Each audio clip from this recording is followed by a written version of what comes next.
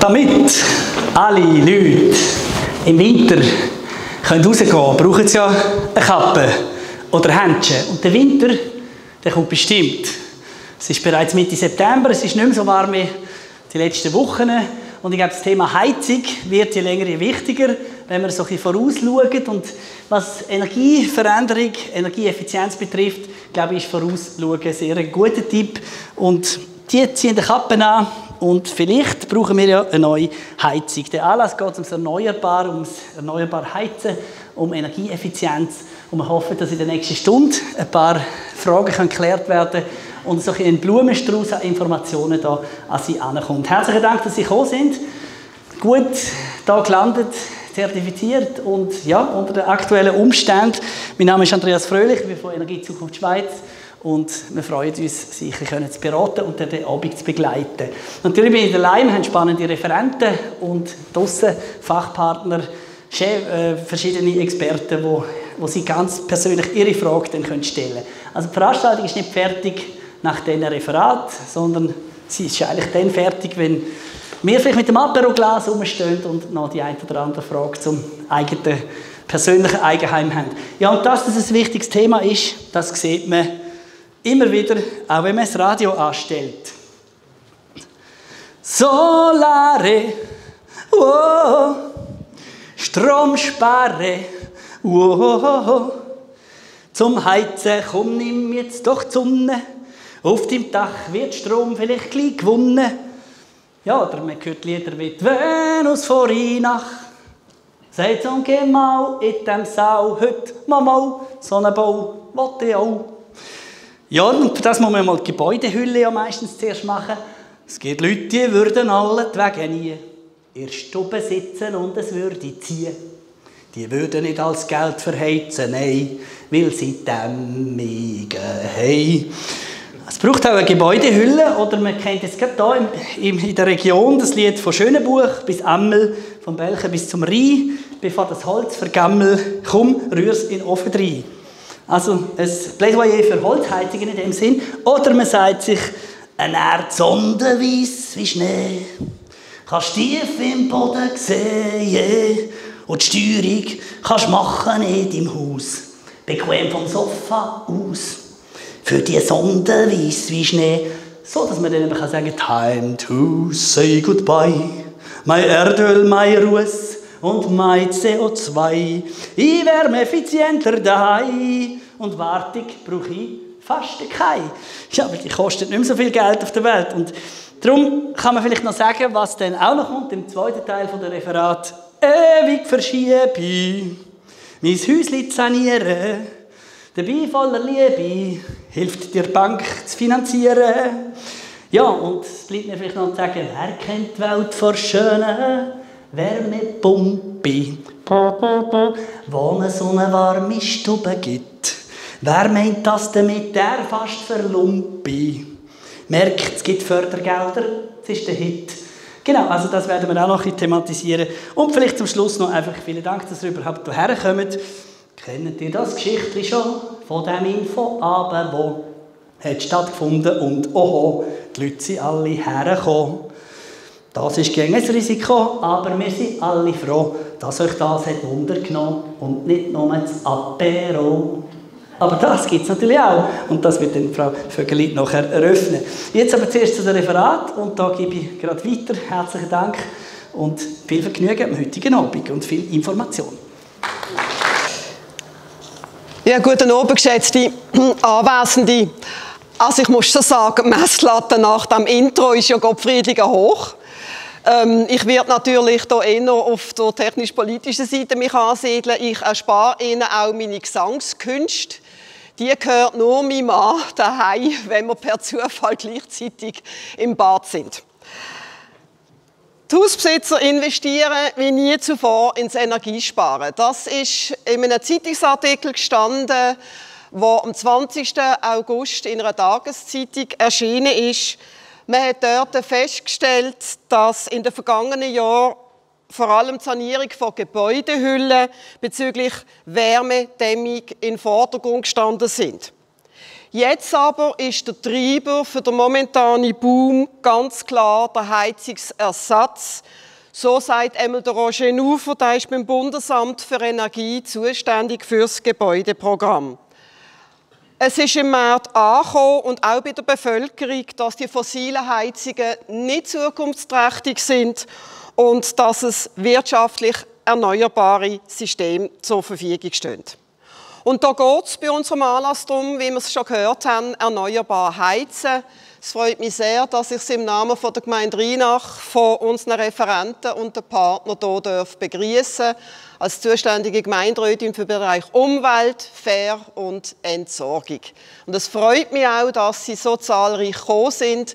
In meinen Augen ist das immer ein, ein anspruchsvolles Thema. Oh, jetzt muss ich eins zurück. Jetzt bin ich schon zu weit. Ja, Gell? Wunderbar, danke schön. Ich möchte einen Schlenker machen zum Kanton. Wir hatten die letzte Sitzung mit dem Kanton und der Kanton hat natürlich ebenfalls seine Ziele, er hat ebenfalls seine Richtlinien.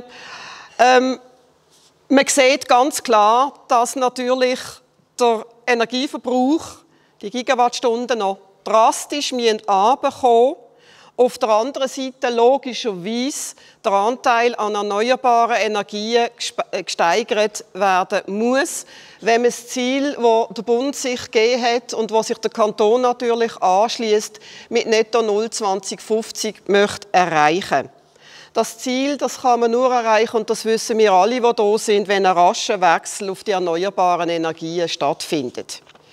Es ist interessant, der Paragraph 2, wo da mehrmals zitiert wird, der Kanton hat sich zum Ziel gesetzt, bis 2050 den Energieverbrauch um 40 Prozent gegenüber dem Jahr 2000 zu senken.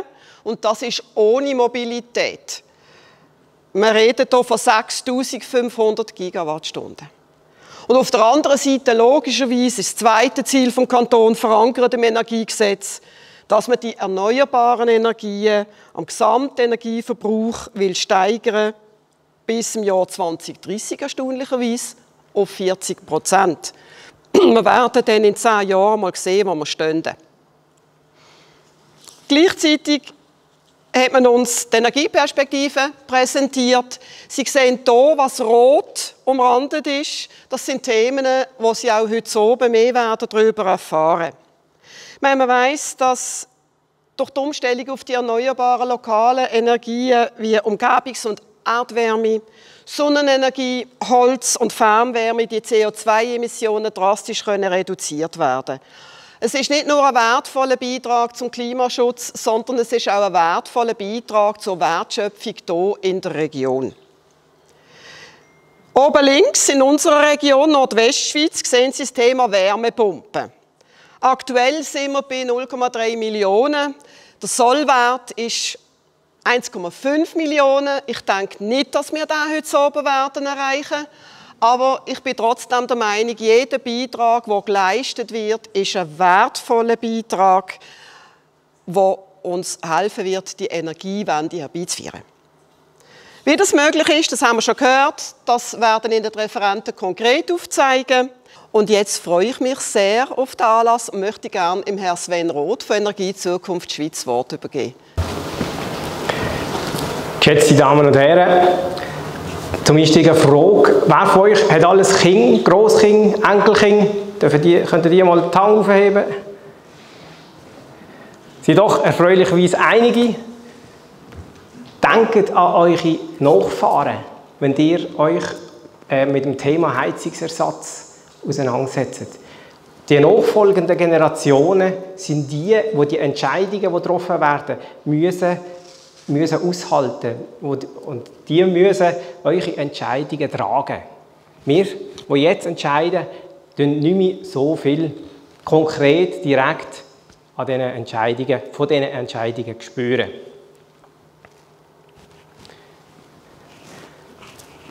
Warum? Ein Programm Erneuerbar heizen. Man sieht es hier sehr gut auf dieser Folie. In der Schweiz wird es immer wärmer. Und zwar überdurchschnittlich. Global gesehen haben wir bis jetzt eine Erwärmung um 1 Grad Celsius. In der Schweiz sind wir bei über 2 Grad Celsius. Und da hat sich der Bund Gedanken gemacht oder auch müssen Gedanken machen. Wir haben es eingangs schon gehört, das primäre Ziel ist Netto Null 2050. Jetzt schafft man dorthin und man muss da einiges machen. Weil es ist immer noch so, dass über 50 Prozent der Eigentümer überlegen sich nicht wirklich eine Alternative zum fossilen Heizsystem bei einem Ersatz. Das sind über die Hälfte. Und es ist heute schon so, dass erneuerbare Heizsysteme ein sehr gutes Kosten-Nutzen-Verhältnis haben. Das werden wir sicher später auch noch mal im Detail hören. Und denkt daran, wenn ihr jetzt eine Heizung installiert, dann ist die installiert für die nächsten 20 Jahre. Also jedes fossile Heizsystem, das eingebaut wird, das ist eigentlich eine verpasste Chance für die nächsten 20 Jahre. Was will das Programm Erneuerbar heizen, das vor drei Jahren vom Bund lanciert worden ist?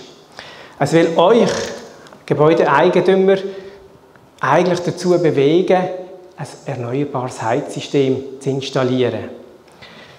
Man will den Umstieg erleichtern. Und zwar will man eben die angesprochene schnelle Reduktion vom CO2 erreichen. Man hat nämlich gemerkt, dass über die Gebäudehülle, was lang propagiert worden ist, Gebäudehülle Vortechnik, als man dort zu wenig schnell ans Ziel kommt. Weil die Heizsysteme haben viel äh, schnellere Erneuerungsraten und es ist viel größeres Potenzial.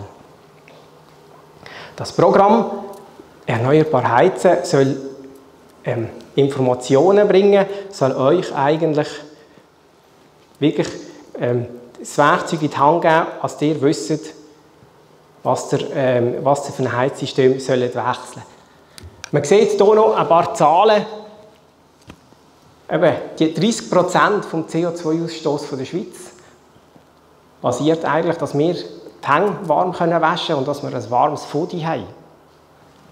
Und als wir unser Ziel erreichen, sind das bis 2050 rund 900.000 Heizungen. Das heißt, pro Jahr sind wir hier bei rund 30.000 Heizungen, wo wir müssen auf ein erneuerbares System wechseln. Ich denke, da sind wir noch weit weg entfernt davon. Ich denke auch, unsere Fachpartner hier, äh, der Wärmepumpenlieferant, das ist auch schon am, am Kopfschütteln. Das wird sicher ein, Herz, ein harter Kampf, weil auch äh, nicht Technologie, aber die Branche ist wahrscheinlich auch nicht imstand, auch jetzt unter diesen Umständen, überhaupt diese Mengen an Geräten zu bringen. Also wirklich frühzeitig anfangen. Jetzt eine Impulsberatung. Das ist eigentlich das Produkt aus dem Erneuerbar Heizen, aus dem Programm. Was kommt ihr dort über? Die kommen eine technologieneutrale Beratung über. Und zwar, es wird berechnet, was die Systeme kosten, und zwar aufs Jahr geschaut. Also die Installation und der Betrieb, das ist wichtig und da sieht man, wie sich die Kosten können aufteilen können. Es ist eine neutrale Beratung. Es ist für euch daheim, der Impulsberater kommt durch, dort konkret auf die Situation bei euch daheim eingehen, schaut, was möglich ist, was nicht. Und ihr kommt auch eine konkrete Umsetzungsempfehlung über, welche Variante wäre sinnvoll. Es gibt auch Kosten werden berechnet, auch Fördergelder werden informiert und auch über allfällige ähm, baubewilligungspflichtige auch Baubewilligungspflichten. Jetzt ist es so, dass wir hier in der Stadt Rheinach für Wärmepumpen in der allgemeinen Bauzone unter gewissen Bedingungen nur eine Meldepflicht haben und nicht eine Bewilligungspflicht, wie das eigentlich im Kanton Basel-Land ist. Weitere Informationen kommen hier auf der Homepage von der Stadt Rheinach über. Das ist eigentlich so das Bild oder Genau, die, die Träger, die Träger von dem erneuerbarheizen.ch, das ist die Homepage, da gibt es auch weitere Informationen, Details. Ihr habt dort eine Liste von den zugeladenen Impulsberater, die ihr suchen könnt, wenn ihr eine Impulsberatung wollt, auch nach dem Anlass noch.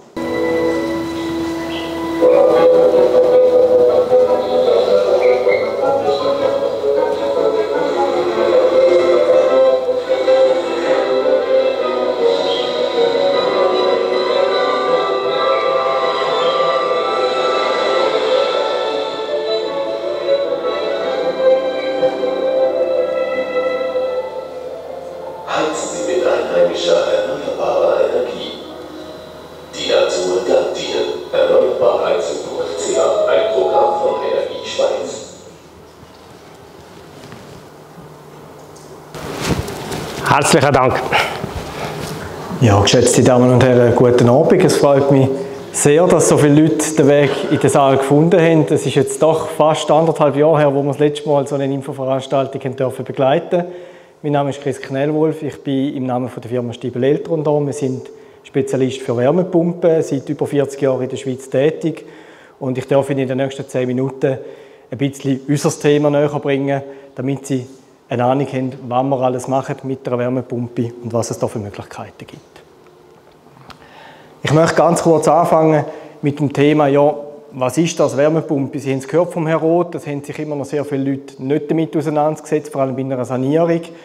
Ich fange mit der guten Nachricht an. Ähm, Im Neubau ist das erneuerbare Thema eigentlich schon sehr, sehr lang State of the Art. Sie sehen das auf der ähm, orange Linie, das heißt seit rund 10 Jahren, ja gut 10 Jahre, 15 Jahren eigentlich schon bald, haben wir im Neubau sehr einen hohen Anteil von über 90 Prozent von erneuerbaren Heizsystemen. Das ist sicher mal die gute Nachricht vorneweg.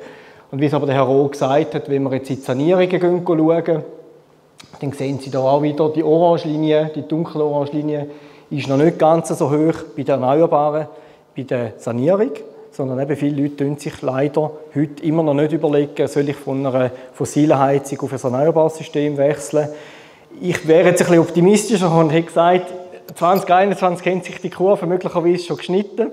Es hört leider im 17 aus, aber trotz allem haben noch viel Luft gegufen und Sie haben es gesehen, um die Energiestrategie 2050 zu erreichen, reden wir von rund 1,1, 1,2 Millionen Gebäuden, die man noch sanieren müsste. Also die Arbeit wird uns definitiv nicht ausgehen über die nächsten Jahre. Jetzt Wärmepumpe ist für viele so ein Buch mit sieben Siegeln und wir haben Ihnen hier einen ganz kurzen Clip mitgenommen, der Ihnen hoffentlich einfach erklärt, wie so ein Ding überhaupt funktioniert. Heute ist das Funktionsprinzip einer Wärmepumpe unser Thema. Das ist eigentlich ganz einfach. Eine Wärmepumpe arbeitet wie der Kühlschrank in Ihrer Küche, nur umgekehrt. Ein Kühlschrank entzieht den Nahrungsmitteln die Wärme und transportiert diese Wärme zu dem Wärmetauscher auf der Rückseite. Jetzt stellen Sie sich doch einfach mal vor, dass der Wärmetauscher Ihre Fußbodenheizung ist und Ihre Wärmepumpe dem Erdreich, der Luft oder dem Grundwasser die gespeicherte Sonnenenergie entzieht und sie an das Heizsystem im Haus weitergibt. Also ganz simpel.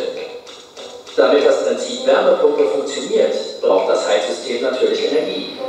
Den Kühlschrank schließt man ja auch an Strom an. Grob berechnet man den Energieverbrauch im Verhältnis 5 zu 1. Sprich, für bis zu 5 Teile kostenlose Umweltenergie braucht man ein Teil Betriebsenergie. Wenn Sie hier grünen Strom nutzen, tun Sie etwas für unser Klima und sind unabhängig von Öl und Gas. Das ist doch prima. Das ist eine Wärmepumpe erklärt im Schnelldurchlauf. Sie haben gesehen, ähm, es funktioniert hauptsächlich mit Energie aus der Luft oder aus dem, äh, von der Sonne hauptsächlich. Das heißt, Sie nutzen zu einem grossen Teil kostenlose Energie aus der Umwelt. Sie haben vorhin auch gesehen, es gibt drei Typen, die man unterscheiden tut bei der Wärmepumpe. Wenn wir links anfangen, eine sogenannte Luft-Wasser-Wärmepumpe. Luft bedeutet die Energiequelle, also dort, wo man halt die Energie hernimmt. Und Wasser, der zweite Begriff nach dem Strich, ist immer das System, wie man die Energie im Haus verteilen. Ich gehe davon aus, Sie alle heizen entweder mit Radiatoren oder Fußbodenheizung. Das heißt, man hat das wassergeführtes Verteilsystem im Haus ist die Variante, die in der Sanierung sehr häufig eingesetzt wird. Ähm, dann bei der Sohnenwasserwärmepumpe haben wir äh, die Erdzone, das Erdreich, das die Energie liefert zum grossen Teil. Ist vor allem im Neubau sehr beliebt, aber sicher auch in der Sanierung immer mal wieder ein Thema. Was es ebenfalls gibt, ist eine sogenannte Wasser-Wasserwärmepumpe. Dort greift man aufs Grundwasser zu als Energiequelle. Ähm, ist eine Variante, die sehr effizient ist, aber nicht sehr häufig eingesetzt wird. Wie ich es vorhin erwähnt, die Luftwasserwärmepumpe ist sicher das beliebteste Modell bei uns, ähm, wenn es um das Thema Sanieren geht. Und da müssen Sie wissen, gibt es zwei Varianten, die ich Ihnen hier mitgenommen habe. Und zwar reden wir entweder von einer innen aufgestellten Variante oder von einer außen aufgestellten Variante. Wie es der Name schon sagt, ist bei der innen aufgestellten Variante, Sie sehen es hier beim Haus ähm, aufgeschrieben, die ganzen Gerätschaften im Haus hinein. Sie haben logischerweise keinen Platzbedarf im Garten. Es ist sicher auch die optisch die schönste Variante, wenn man es ein bisschen vergleicht, was ist das Richtige für mich, ähm, weil halt alles im Haus steht. Was natürlich auch gibt, oder vor allem wenn Sie vielleicht beschränkte Platzverhältnisse haben im Haus, dann gibt es eine sogenannte außen aufgestellte Variante. Ähm, der Vorteil da ist natürlich, Sie haben die ganze Technologie hinter dem Haus oder neben dem Haus und sparen so Platz. Sie können vielleicht sogar einen Tankraum umnutzen und eine schöne Sauna daraus machen oder irgendetwas, wer weiß. Ähm, das ist sicher der Vorteil da. Nachteil ist logischerweise, Sie brauchen Platz im Garten.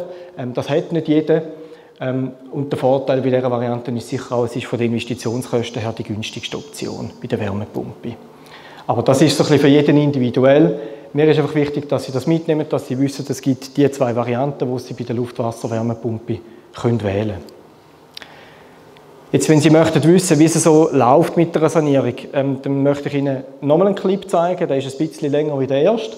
Da haben wir eine Sanierung mitverfolgt, eben mit einer Luft-Wasser-Wärmepumpe. Sie werden es nachher sehen. Das ist eine innen aufgestellte Variante. Man ist von einer Ölheizung gekommen, hat die rausgenommen und hat sie durch eine Wärmepumpe ersetzt. Und wie das von A bis Z vonstatten geht im Zeitraffer, das sehen Sie in den nächsten zwei Minuten.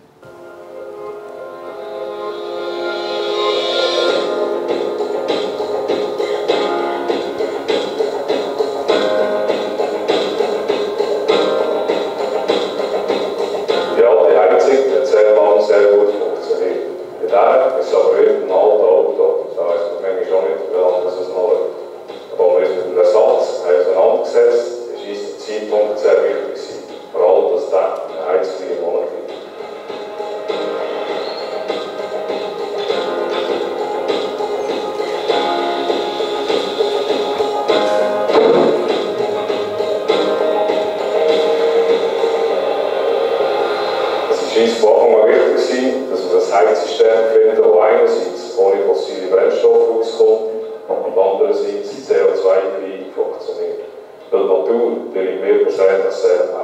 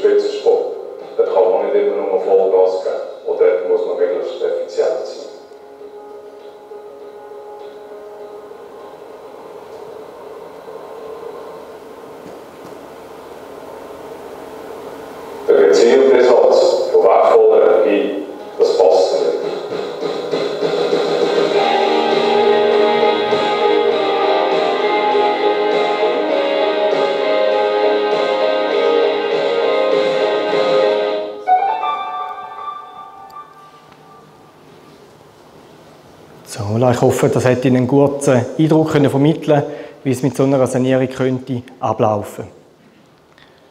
Wenn wir über Kosten reden, ähm, der Herr Roth hat es vorhin schon erwähnt, dann können Sie auf der Erneuerbaren Heizen Webseite einen Heizkostenrechner brauchen.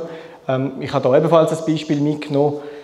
Wenn man über eine Wärmepumpe redet, dann ist es sicher das Thema, dass die Wärmepumpe im Verhältnis zu anderen Wärmeerzeugern relativ hohe Investitionskostenanteil hat. Wir reden bei einem Luftwasser-Wärmepumpenprojekt schnell einmal von irgendwo 30'000 Schweizer Franken. Oder wenn man mit einer Erdzone ähm, möchte heizen, ist natürlich Bohrung ein wesentlicher Anteil. Da sind wir schnell bei 50'000 Franken was es ein Projekt etwa könnte kosten. Jetzt machen Sie aber bitte den Fehler nicht und tun einfach nur eine Offerte vergleichen, sondern eben schauen Sie auch ein bisschen auf die Betriebskosten. Und das ist ähm, genau das umgekehrte Bild, dass Sie natürlich mit einer Erdsonde oder auch mit einer Luftwasserwärmepumpe bedeutend tiefere Betriebskosten haben. Und wenn man das nachher über eine Lebenszeit mixet, dann sieht es eben auch immer noch sehr, sehr attraktiv aus. Also das heißt, über die ganze Lebenszeit aus fahren Sie mit einer Wärmepumpe ähm, nach dieser Rechnung immer noch am besten. Und wie gesagt, das sind Zahlen, die können Sie auf Ihre Gemeinde nach Ihrem Stromtarif selber einmal nachrechnen. Machen Sie das ungeniert. Das sind Zahlen vom Bundesamt für Energie, die da hinterlegt sind. Das hat nichts mit Stiebeleltern selber zu tun. Dann, äh, jetzt langsam wird es wieder ein bisschen kühler. Jetzt denken alle ans Heizen. Ähm, trotz allem, gut, den Spruch kann man da ja nicht bringen. Im Sommer haben alle kühlen. Ähm, das ist da ja ein bisschen anders gelaufen. Trotz allem, ähm, wir sehen bei uns, dass die Nachfrage sehr stark immer noch steigt nach Wärmepumpen, die auch kühlen können. Und die Wärmepumpe ist das einzige Heizsystem, wo sie ebenfalls das Gebäude kühlen können. Und zwar funktioniert das so, dass man eigentlich einfach das System wie umkehrt und entsprechend kühleres Wasser durch die Fußbodenheizung äh, zirkulieren lässt. Wichtig ist, Sie können das nur mit Fußbodenheizung machen, nicht mit Radiatoren, sonst fangen die an zu schwitzen, so wie Sie es haben, wenn Sie kalte Flasche zum Kühlschrank ausnehmen und auf den Tisch stellen. Das wäre nicht so gut. Aber wenn Sie Fußbodenheizung haben, können Sie sich das überlegen. Ähm, das ist eigentlich ohne große Zusatzkosten verbunden und bringt Ihnen einfach die Kerntemperatur vom Gebäude um 1, 2 Grad ab. Das heißt, Sie haben nicht eine Klimaanlage, aber Sie haben trotzdem ein angenehmes Klima, wenn Sie mal einen warmen Sommer haben. Und wenn Sie dann können wählen zwischen soll es im Schlafzimmer jetzt 25 oder 27 Grad sein?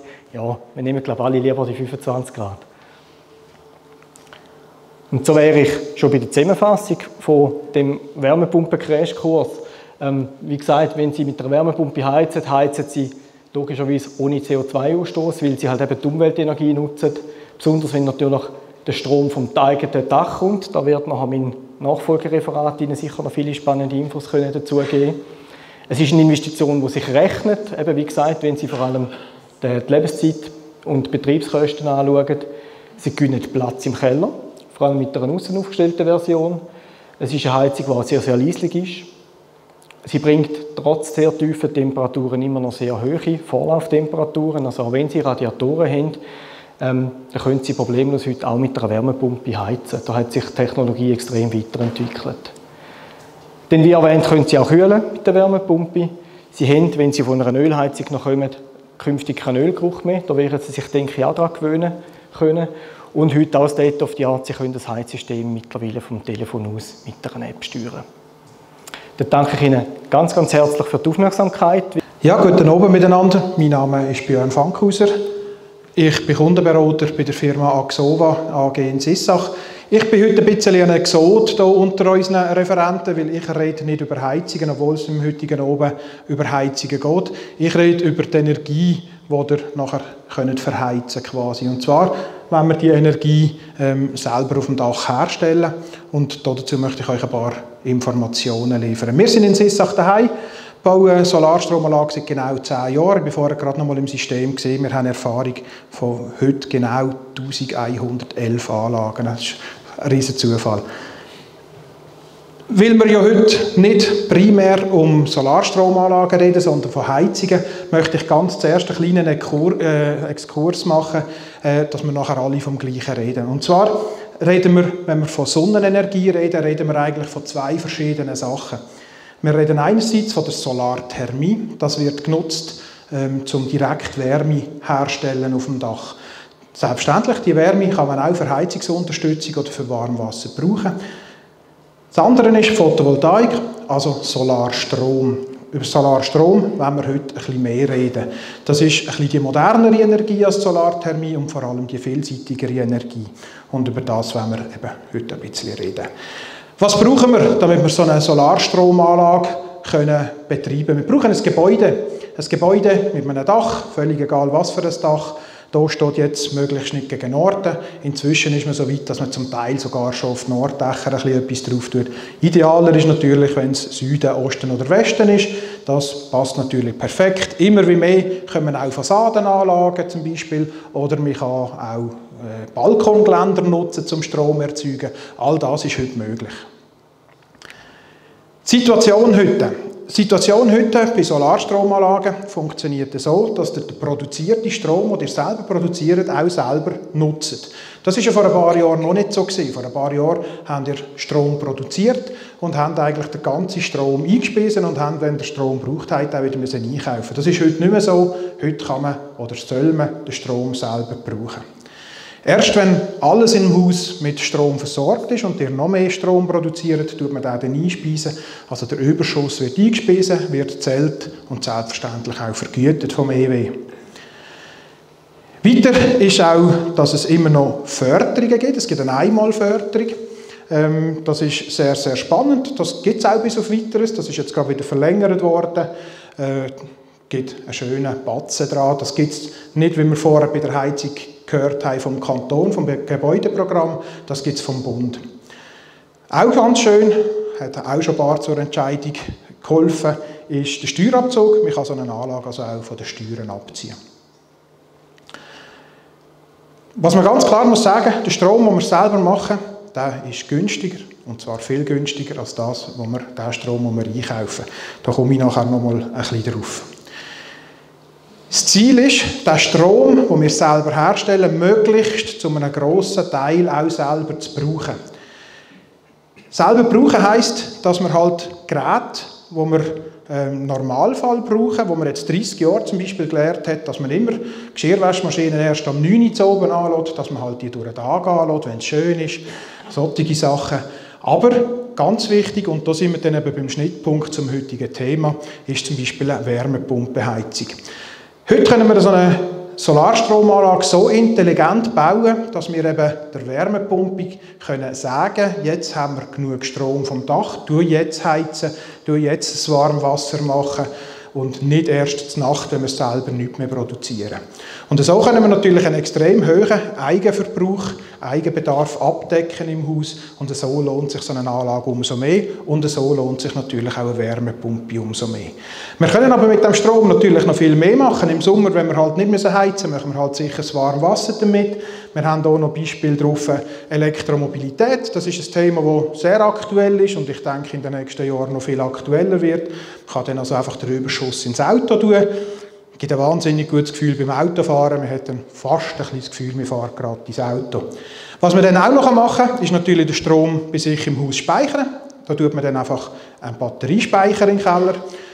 Wenn man am Tag zu viel Strom produziert, speichern wir das im Haus und Nacht, wenn wir halt vom Dach nichts produzieren, können wir dann dort daraus wieder beziehen. Und erst wenn das alles abdeckt ist, wenn wir möglichst sämtliche Verbraucher im Haus abdeckt haben und wir immer noch mehr produzieren, dann speisen wir halt den Überschuss ins Netz und eben wie gesagt, das wird dann auch noch vergütet.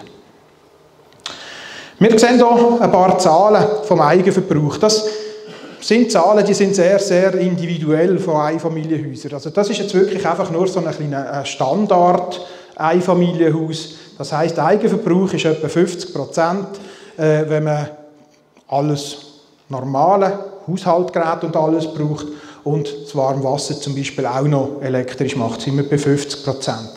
Wenn wir nachher aber eben noch die Waschmaschine, Computer, Fernsehen, ähm, Elektroauto, E-Bike und so weiter fangen an verbrauchen, äh, Wärmepumpe fangen an verbrauchen und so, dann sind wir schon bei 60 Prozent. Und wenn wir dann noch einen Speicher installieren, sind wir tatsächlich schon bei 70 Prozent. Wie gesagt, das sind wirklich grobe Zahlen. Da tut euch der Installateur tut das auf euch Haus genau ausrechnen und dann kann euch ungefähr sagen, was das denn bei euch wird sein. Ich habe vorher gesagt, der Strom, den wir selber produzieren, ist deutlich günstiger als der, den wir einkaufen. Das sehen wir auf dieser Grafik. Wir sehen hier die drei, vier äh, EV aus von der Umgebung, die um die 25, zwischen 20 und 25 Rappen heuschen für das Kilowattstunde Strom. Das ist natürlich nicht nur der Strom, sondern dann sind natürlich auch alle Abgaben, Netzabgaben und so dabei. Aber pro Kilowattstunde zahlen wir dort. In eurem Fall sind es jetzt gute 25 Rappen und auf nächstes Jahr ist ja schon angekündigt, dass es wieder ein paar Rappen teurer wird. Das heißt, es wird noch viel interessanter. Wenn man jetzt das kleine Bild ihr Solarstrom anschaut, sind wir wirklich einfach sehr, sehr deutlich günstiger. Das bedeutet eigentlich nichts anderes, als für jedes Kilowattstunde, das ihr selber produziert, selber könnt brauchen und durch das keins müsst einkaufen spart ihr knappe 18 bis 20 Rappen. Und wenn ihr das auf ein Haus ausrechnet, das eben komplett elektrisch geheizt ist, das braucht, würde ich jetzt mal sagen, zwischen 8.000 und 12.000 Kilowattstunden, je nach Dämmung, je nach Größe, auch hier wieder äh, sehr individuell. Und dort man 50 bis 60 Prozent von dem Strom selber kann brauchen kann, muss man kein wahnsinnig guter Mathematiker sein, um zu merken, das lohnt sich wirklich. Lohnen tut sich nicht zuletzt halt eben auch wegen Fördergelder. Fördergelder gibt es im Moment ähm, auf alle neuen Anlagen. Und zwar wird das so gehandhabt, dass es für jede Anlage, die ihr baut, gibt einen Grundbeitrag, der ist immer gleich, der ist 700 Franken. Und nachher pro Kilowatt, wo ihr aufs Dach dient, gibt es zusätzlich nochmal 380 Franken. Das heisst, je grösser die Anlage, je mehr Geld bekommt ihr dann auch vom Bund zurück.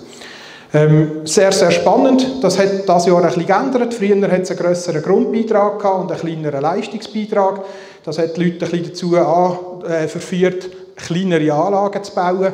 Und dann hat man aber gemerkt, für das Ganze müssen wir eigentlich möglichst grosse Anlagen haben. Und da hat man jetzt so geändert, dass es einen kleineren Grundbeitrag gibt, dafür mehr Leistungsbeitrag, sodass die Leute motiviert werden, die Dächer so gut wie möglich zu füllen, wenn man schon Platz hat.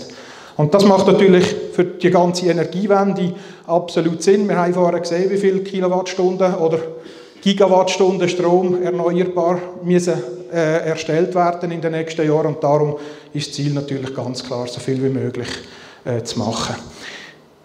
Die Einmalförderung, die ihr hier bekommt, da gibt es verschiedenste Firmen, die euch das vorfinanzieren, weil es geht ein Jahr, anderthalb, bis ihr das vom Bund bekommt. Fragt euch einen Installateur, ob er euch das vielleicht vorfinanziert, dann müsst ihr nicht ganz so viel Geld in die Hand nehmen. Zusätzlich, habe ich vorher auch schon kurz angedeutet, ist steuerabzugsfähig.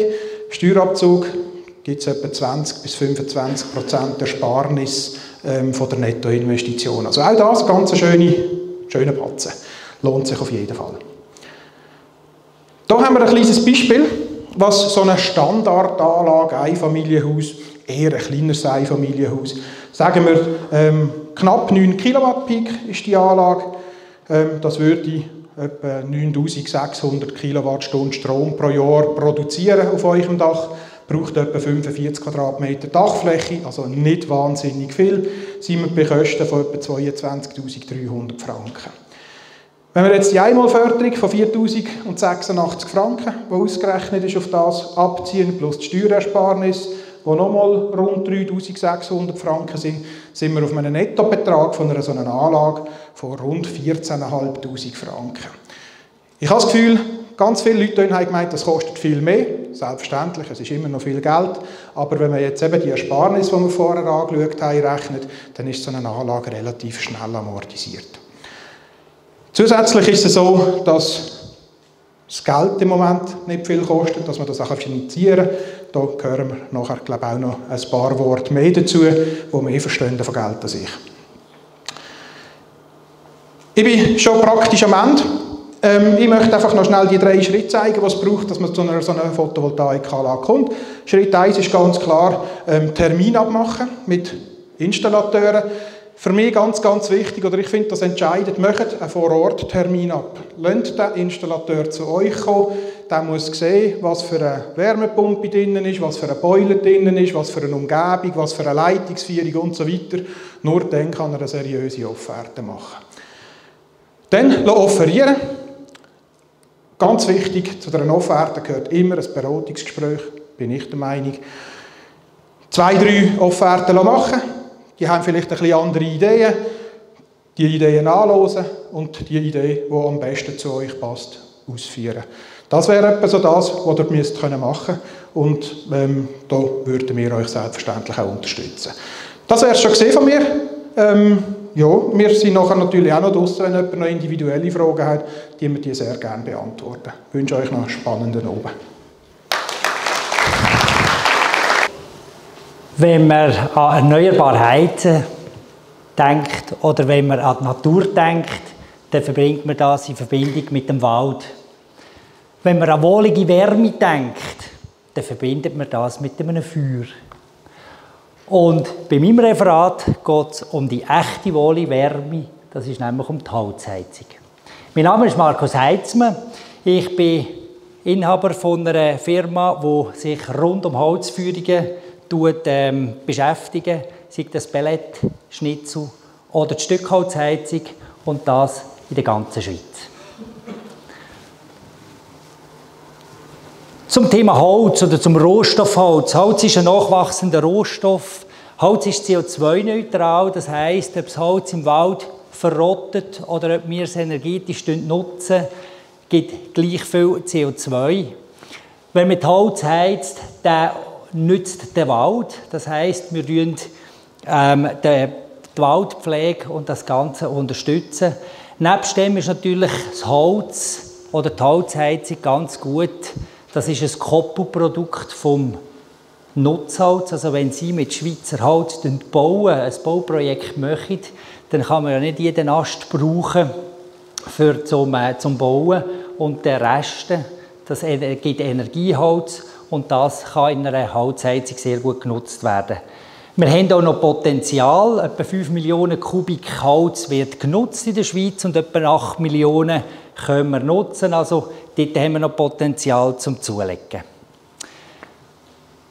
Es gibt drei verschiedene Holzheizungen. Das ist eigentlich noch interessant. Es gibt drei verschiedene Wärmepumpensysteme, es gibt drei verschiedene Holzheizungssysteme. Die Stückholzheizung ist eine sehr alte Heizung ist ein sehr fester Komfort, wo man heute machen kann mit einer automatischen Zündung, aber ist sicher ein System, wo man Mann- oder Frauenbauer muss investieren für das tägliche Heizen, für die tägliche Energie, für die tägliche Wärme. Die Schnitzelheizung ist schon ein bisschen automatischer, ist relativ fest automatisiert. Der Schnitzel braucht einfach ein bisschen mehr Platz, weder im Vergleich zu der Pelletheizung. Und die Pelletheizung, die ist praktisch vergleichbar mit einer Ölheizung. Die läuft vollautomatisch und kann, ähm, äh, gibt einen sehr, sehr hohen Komfort. Und in meinem Vortrag für heute in diesem Gebiet gehe ich vor allem auf Pelletheizung ein. Wo kann die überall eingesetzt werden? Klassisch im Einfamilienhausbereich, wenn jemand ähm, eine Holzheizung oder eine Pelletheizung einsetzen im Einfamilienhaus, im Mehrfamilienhausbereich, wo eine, so eine Pelletheizung kann eingesetzt werden In einer Überbauung, selbstverständlich, wenn man einen Haufen Energie braucht, kann so eine Heizung eingesetzt werden, wenn mehrere Häuser zusammengebaut oder zusammengehängt werden. Dann im Gewerbe selbstverständlich, wenn Raumwärme oder sogar Prozesswärme gebraucht wird. Und zu guter Letzt natürlich in öffentlichen Bauten, wo so Holzheizungen können eingesetzt werden Die Eigenschaften einer Pelletheizung, ein vollautomatisches Heizsystem, geringer Platzbedarf, also überall dort, wo eine Ölheizung Platz hat, hat auch eine Pelletheizung Platz, kann man einen 1 zu 1 Ersatz machen. Es ist ein einfacher Systemwechsel und eine Pelletheizung passt immer. Also das heisst, Pelletheizung ist der Joker unter den Heizungen, unter dem Heizsystem. Es spielt keine Rolle, ob wir eine Radiatorenheizung haben, ob wir ein altes Gebäude haben mit sehr hohen Vorlauftemperaturen, ob wir einen Wärmeverbund haben, wo wir die Wärme drin geben oder ein Bodenheizsystem. Es geht überall. Wie sieht das so aus in einer, oder so einer Pelletheizung? Wir haben hier den, genau, hier haben wir den Heizkessel und hier haben wir das Pelletlager. Das Pelletlager ist jetzt hier in Form von einem Gewebetank und die Pellet werden, wie Sie äh, das können, vielleicht vom Öllastwagen, werden die mit einem Lastwagen mit einem Einblassystem einblasen und von dem Gewebetank aus wir die Pellet mit Luft ansaugen. Also dort haben wir mit dem Sugsystem ein ganz ein einfaches Fördersystem, wo wir bis zu 20 meterige Distanzen können überbrücken zwischen dem Lagerraum und dem Heizkessel. Ein anderes System, wenn man ein bisschen mehr Platz hat, wenn es ein bisschen grössere Gebäude sind, ist, dass man den Öltankraum, da wäre jetzt der Öltankraum gesehen, wo man den, den rausnimmt, umfunktioniert zu einem Pelletlager. Mit einer Schnecke tut man es vorziehen und von daher nachher wieder auf einen Heizkessel saugen und so einen grösseren Pelletlagerraum erschließen. Wenn wir gar keinen Platz haben im, Heim, im Haus innen, oder wenn einem der Platz für etwas, wenn wir den für etwas anderes nutzen, haben wir selbstverständlich auch die Möglichkeit mit einem erdverleihten Tank, wo man dann im Garten ein Loch grabt, so einen Tank drin tut und ähm, wieder zumacht und dann kann man den mit Pellet füllen und auch hier tun wir es nachher mit dem Sugsystem auf die Heizung saugen. Die Eigenschaften des Pellet, eben, das Pellet sind ökologisch CO2-neutral, das hilft unserem Klima auch. Der nachwachsende Rohstoff, ein einheimischer, regionaler Rohstoff. Und vor allem, wenn Sie mit einem Haufen Schweizer Holz bauen, dann wird ein Haufen gesackt, ein Haufen gehobelt. Und aus diesen Sägespänen und aus diesen Hobelspänen werden die Pellet presst, also das Abholz oder der Reste von der, von der Produktion wird zu Pellet verarbeitet und könnt das nachher zum Heizen brauchen. Ein geringer Anteil an grauen Energie, also viele sagen, ja, aber das ist wahnsinnig, ähm, Pellet, also das zu diesen Pellets pressen, das braucht äh, sehr viel Energie. Natürlich, Stückholz braucht am wenigsten graue Energie, das ist klar, dort wenn man es dann auf der Hand spaltet, dann ist es einfach ein Teller Suppe mehr. Aber sonst ist es, ähm, ist es auch mit einem sehr, sehr geringen ähm, Energieaufwand machbar. Natürlich braucht dann die Holzheizung auch einen Strom, einen Betriebsstrom, um das, ähm, die, die, die Heizung zu betreiben. Und das ist etwa 1% vom Betriebsstrom, wo, wo das braucht für ähm, die Leistung zu machen. Ja, und zu guter Letzt gebe ich euch noch einen Überblick über Energiepreis, wie viel kostet Pellet oder was haben Sie, wie, wie ist das ungefähr von den, von den Kosten, von den Energiekosten, die Sie haben. Wir sehen, hier ist 2006 bis 2020, also eine recht lange ähm, Zeit, wo wir das anschauen. Und wir haben das Heizöl, das enormen Schwankungen ausgesetzt ist. Dann haben wir das Erdgas in der blauen Linie. Und das Holzbillett, das ist hier sicher in einer Linie, inne, wo wir irgendwo plus minus 10% haben. Und das Pellet ist nicht im Heizöl angekoppelt. Das zeigt die Grafik, können Sie unter pelletpreis.ch anschauen. Und wenn man ähm, noch zu guter Letzt Elektrizität anschaut, dann sieht man, dass dort sicher auch ein höherer Bedarf da ist und das natürlich auch im, äh, in den Kosten niederschlägt. Das ist soweit zu der Holzheizung. Danke vielmals und ich gebe weiter. Ja, guten Abend, geschätzte Damen und Herren. Ich darf Sie im Namen von der Raiffeisenbank Rheinach ganz herzlich begrüßen. Ja, warum hat die Bank denn Interesse an der Energieeffizienz von ihrem Haus? Mein Name ist Thomas Leingruber. Ich äh, bin jetzt der Letzte in der Runde, ja, den letzten beißen die Hunde. Sie haben jetzt schon viel gehört. Und jetzt kommt der mit den Zahlen und vermutlich der mit den Wiederholungen von Sachen, die Sie schon gehört haben. Die Wiederholungen sind sicher gut, weil dann bleibt es hängen. Und mit den Zahlen gebe ich, mir, gebe ich mir dass ich sie nicht erschlaue. Wieso modernisieren? Das haben wir ganz am Anfang gehört von Sven Roth. Ich glaube, wir sind die Generation, die es jetzt in der Hand hat, etwas zu unternehmen, dass den nächsten Generationen vielleicht temperaturmäßig bisschen besser geht. Weil, und das ist für mich der unterste Satz, ist der wichtige, Gebäude, das sind Investitionen, in Güter, die langlebig sind.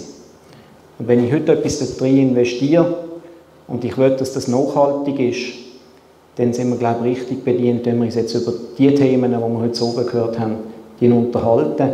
Weil das sind die Altlasten von morgen, wenn wir jetzt einfach gleich weitermachen.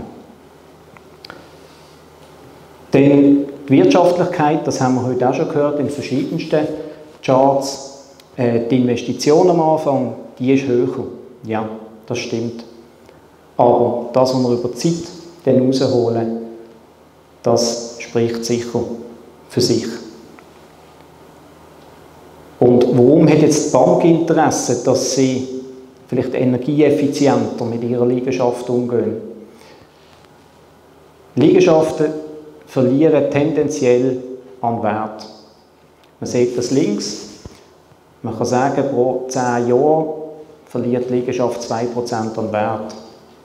Und im rechten Bild, da sehen Sie die Säule, da sieht man ein bisschen, ja, wenn ich etwas mache, wenn ich stetig saniere und das Haus an Schuhe halte, mit der blauen Säule sehen Sie, das geht viel weniger zurück, als wenn ich nichts mache in dieser Immobilie.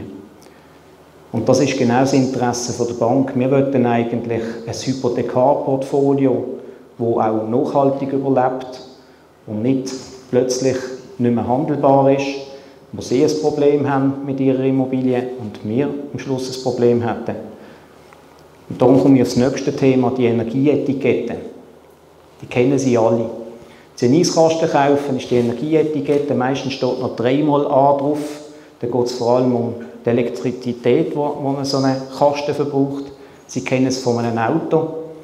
Viel Hubraum gleich Energieeffizienz G, Elektromobil Energieeffizienz A. Und genau die Energieetikette kommt jetzt ins Spiel bei den Immobilien. Und zwar alles für mehr. In anderen Ländern ist es obligatorisch, wenn Sie ein Haus verkaufen wollen, dass Sie eine Energieetikette mitliefern. Wir kennen das auch schon in Kantonen der Schweiz, wo das verbindlich ist, wenn ein Haus die Hand ändert, muss ein Energieausweis mit.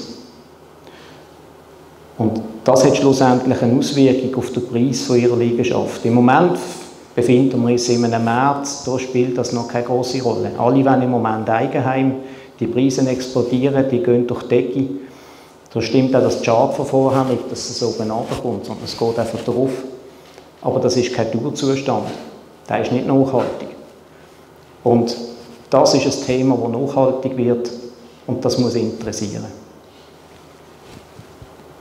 Jetzt, wie kann ich mich informieren bei der Bank? Also nicht nur über Preise von einer Hypothek oder was ich mir leisten kann, sondern auch was meine Immobilien angeht. Ich könnte Ihnen hier zwei Beispiele mitbringen, wo Sie, wo Sie selber daheim im stillen Kämmerlein mal können spielen mit Ihrer Liegenschaft. Es gibt das iValo-Tool. Das ist eine simple Lösung, wo Sie mit ein paar wenigen Eingaben zu Ihrem Objekt eine erste Auswertung bekommen. Das sind nicht Preise, die sakrosant sind. Es gibt einfach einmal so eine Preisetikette, dass man ungefähr weiß, okay, ich habe ein Haus, das ist jetzt vielleicht 40-jährig, ich habe das eine oder das andere mal dran gemacht, aber was kommt denn jetzt konkret auf mich zu, so für eine Zeittags? Oder was könnte man alles machen? Und wenn Sie dort ein paar wenige Eingaben machen zu Ihrem Haus, Baujahr ist matchentscheidend, dann kommt habe ich schon einmal etwas investiert in diesen 40 Jahren, wo etwas mit Energieeffizienz zu tun hat. Was habe ich für einen Energieverbrauch? Was für eine Fläche ich beheizen?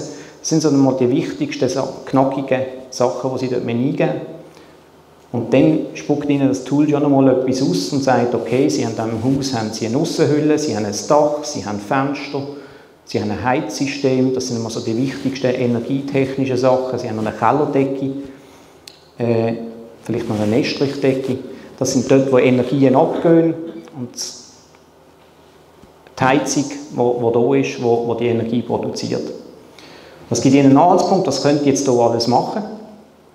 Und Sie sehen dann oben, kommen wir zu dieser Energieetikette, Sie sehen dann dort auch, wenn Sie sagen, okay, ich entscheide mich jetzt einmal für Außenisolation und ich entscheide mich für ein neues Heizsystem, dann verschiebt sich das der auf der Energieetikette. Sehen Sie vielleicht auch, bis jetzt bin ich im, D, jetzt komme ich vielleicht Richtung C oder B. Und Sie haben auch einen Anhaltspunkt, was so eine Investition ungefähr könnte kosten. Da dürfen Sie dann nicht verschrecken, wenn Sie die Zahl sehen, weil die stimmt am Schluss sowieso nicht, weil Sie gehen ja dann zu den verschiedenen Anbietern und gehen sich erkundigen, was Sie machen können. Aber es geht um die Langfristplanung von Ihrem Eigenheim. Und ich glaube, das ist für alle äh, wichtig, dass man dort einen Plan hat, wie gehe ich eigentlich mit meinem Wohneigentum um. Wenn Sie etwas Neues kaufen, dann haben Sie die ersten zehn Jahre noch nicht groß etwas, dann haben Sie ein paar Pflasterchen, die Sie mehr machen und es funktioniert eigentlich alles gut, aber es lohnt sich eigentlich vom ersten Tag an, sich Überlegungen zu machen, wann kommt was auf mich zu in der Lebensdauer von dem Haus. Und dann kann man nämlich auch Verrückstellungen bilden und dann muss man am Schluss vielleicht nicht einmal wegen einer Hypothek bei der Bank anfragen. Das ist jetzt fast Werbung gegen uns. Wir machen selbstverständlich gerne Hypotheken, aber es geht auch darum, dass man selber Rückstellungen bildet. Alle die, die im, im Stockwerkeigentum wohnen, die, die wissen das, die machen einen Erneuerungsfonds. Der, der im Haus wohnt, der müsste eigentlich auch so ein Kessel auf der Seite haben, wo er einen Erneuerungsfonds hat. Und ein anderes Tool, das auch zur Verfügung steht, das gibt es noch nicht lange, das ist Liva. Äh, das Tool ist entwickelt worden mit, von Raiffeisen zusammen mit unserem Versicherungskooperationspartner Mobiliar.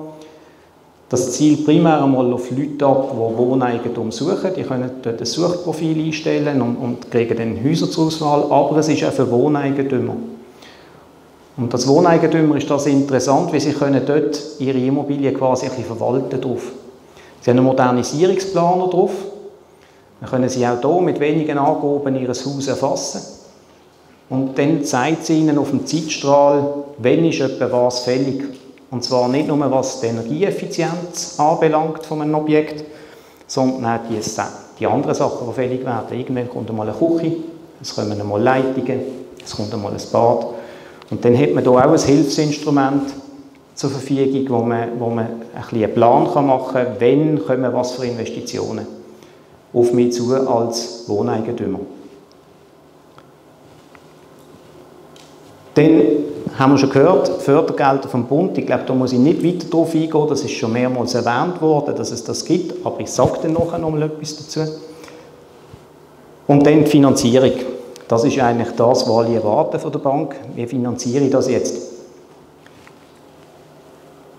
Die Zahlen, die Sie da vorne sehen, die sind nicht irgendwie aus der Modelbranche oder so, 80, 20, 33, sondern das sind so die maßgebenden Zahlen, wenn es um Finanzierungen geht bei Hypotheken.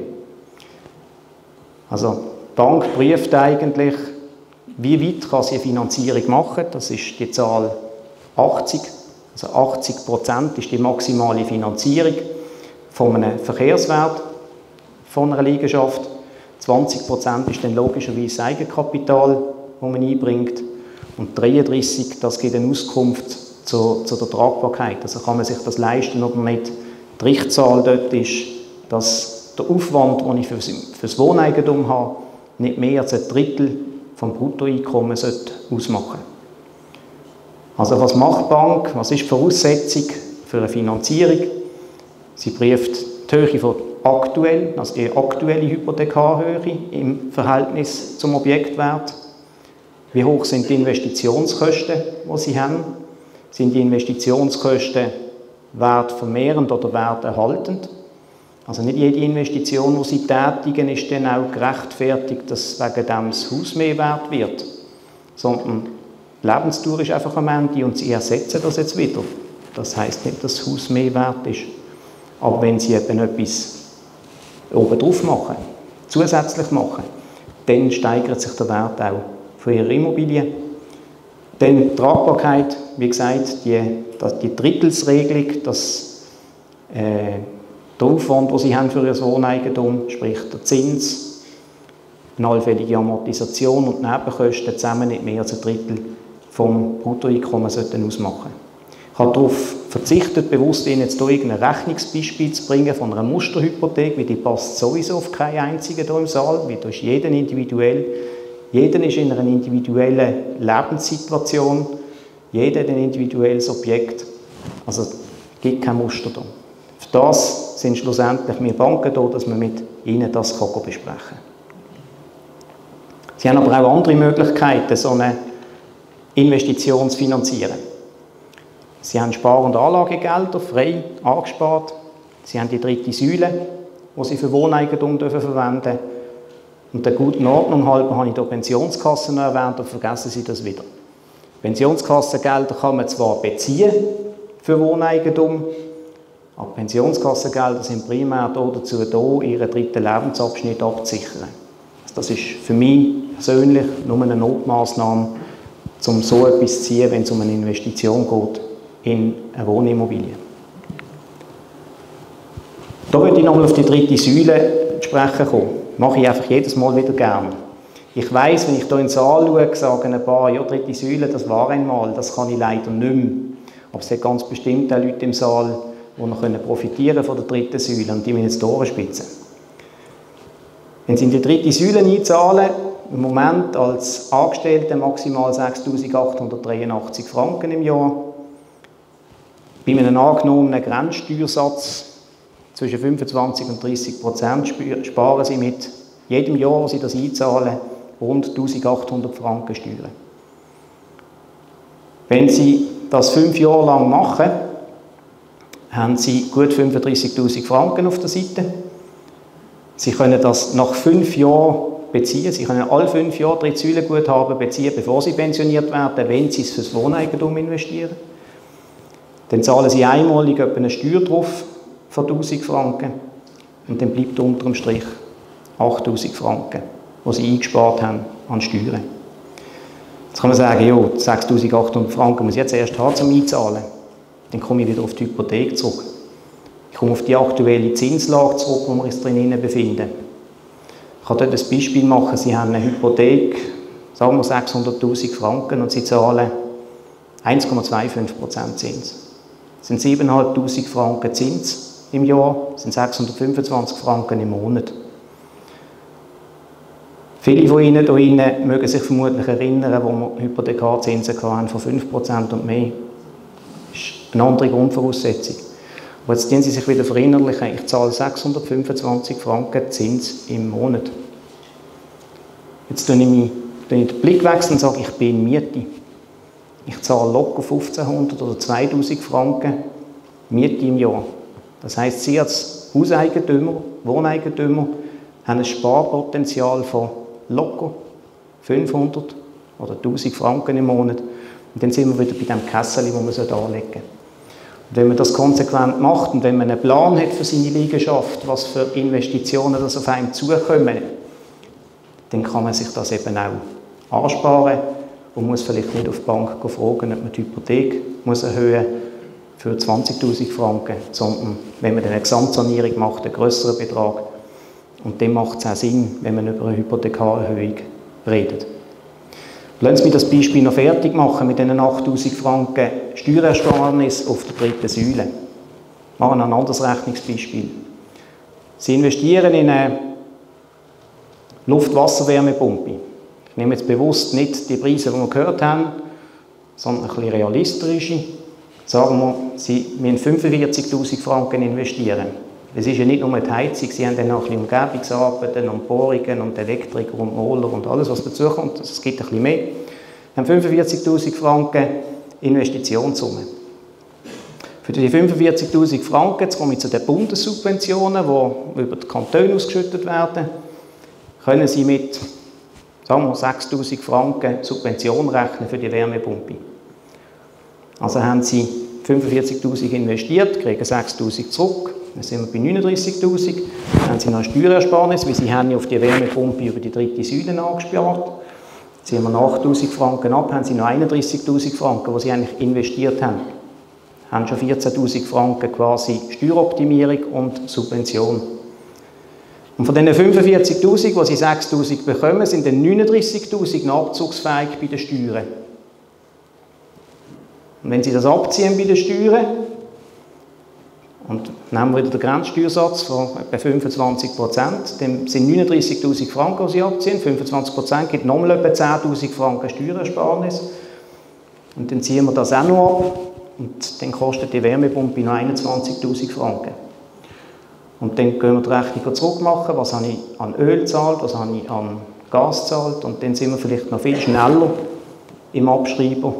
Und der Kosteneinsparung, die wir haben, auf eine energieeffiziente Lösung.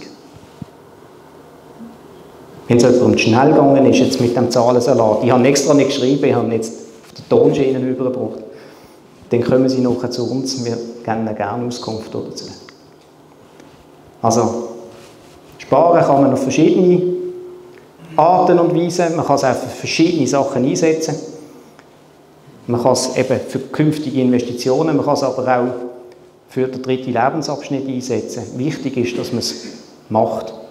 Spare in der Zeit, so hast du in der Not.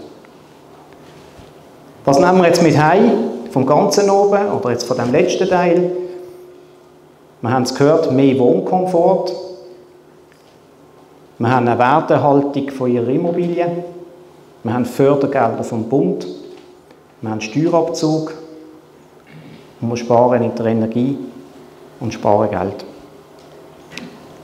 In diesem Sinne, danke schön vielmals für Ihre Aufmerksamkeit und äh, noch viel Spaß beim Apero.